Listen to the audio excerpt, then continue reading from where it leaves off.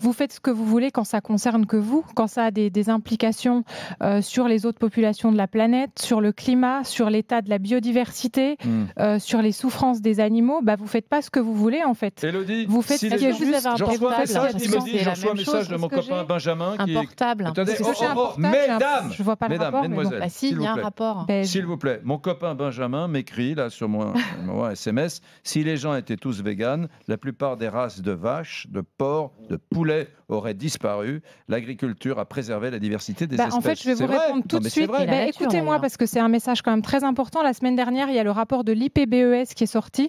Donc, c'est un institut euh, qui rassemble des études scientifiques sous l'égide de l'ONU qui a fait un bilan absolument alarmant mm. sur la biodiversité.